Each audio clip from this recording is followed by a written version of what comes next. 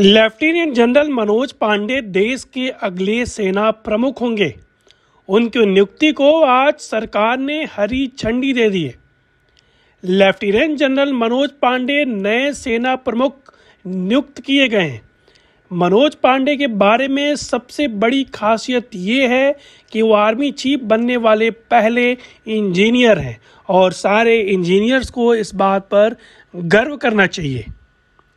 Lieutenant general Manoj Pandey अब नए सेना प्रमुख का कार्यभार संभालेंगे क्योंकि सरकार ने उनके नियुक्ति को हरी झंडी दे दी है। सरकार ने लेफ्टिनेंट जनरल मनोज पांडे को अगले सेनाध्यक्ष के रूप में नियुक्त करने का फैसला किया है।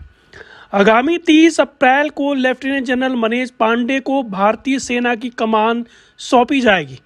मनोज पांडे देश के पहले इंजीनियर होंगे, जिन्हें सेना प्रमुख की कमान सौंपी जा रही है। वर्तमान सेना प्रमुख मनोज मुकुंद नरवड़े इस माह के आखिर में सेवानिवृत्त हो रहे हैं, उनकी जगह लेंगे मनोज पांडे। आइए जानते हैं कौन है lieutenant general Manoj Pande. Lieutenant general Manoj Pande दिसंबर उन्नीस सौ बयासी में कोर ऑफ़ इंजीनियर्स में कमीशन दिया गया था। वह स्टाफ कॉलेज कैम्बरलू से स्नातक है और उन्हें आर्मी वार कॉलेज महू और दिल्ली में नेशनल डिफेंस कॉलेज में हायर कमांड कोर्स में भाग लिया था। लेफ्टिनेंट जनरल मनोज पांडे ने अपनी सैंतीस साल की सेवा में ऑपरेशन विजय, ऑपरेशन पराक्रम में सक्रिय भाग लिया था।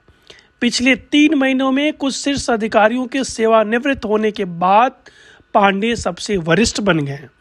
लेफ्टिनेंट जनरल राज शुक्ला जो सेना के प्रशिक्षण कमान थे, वो भी 31 मार्च को रिटायर हो रहे हैं। पूर्वी कमान का कार्यभार संभालने से पहले वह अंडमान और निकोबार के कमांडर इन चीफ का कार्यभार संभाल चुके हैं। तो भारत को नया सेना प्रमुख मिल गया है और उसका नाम है मनोज पांडे।